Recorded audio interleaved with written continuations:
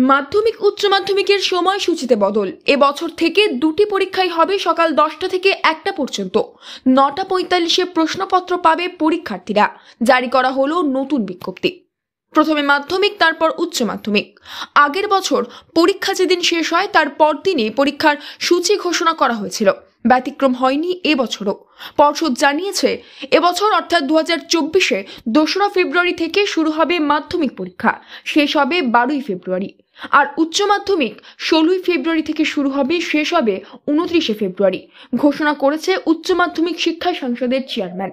সেই সূচি অপরিবর্তিত থাকছে, শুধু বদলে যাচ্ছে পরীক্ষার সময়। এতদিন মাধ্যমিক পরীক্ষার প্রশ্নপত্র দেওয়া হতো এগারোটা পঁয়তাল্লিশে। পরীক্ষা চালু হতো বেলা বারোটা থেকে তিনটে পর্যন্ত। কিন্তু এবছর থেকে দুটো পরীক্ষার ক্ষেত্রেই নটা পঁয়তাল্লিশ থেকে প্রশ্নপত্র দেওয়া হবে পরীক্ষার্থীদের হাতে। পরীক্ষা শুরু হবে বেলা দশটা থেকে, চলবে একটা পর্যন্ত। কিন্তু কেন আচমকা এই বদল তা অবশ্য জানা যায়নি। Bureau report news network seven.